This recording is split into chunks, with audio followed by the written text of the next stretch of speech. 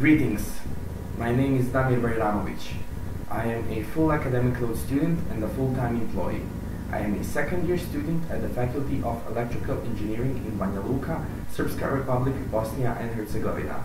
I am also a backend developer at Flashboys. Flashboys are a Dutch startup working on various projects around blockchain technology.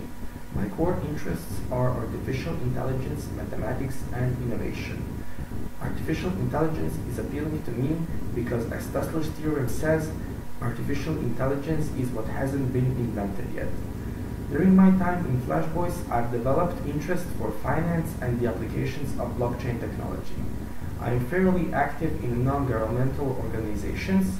I do jujitsu and I am also a passionate musician. Thank you for your time and if you want more information, email me or message me on LinkedIn. Goodbye.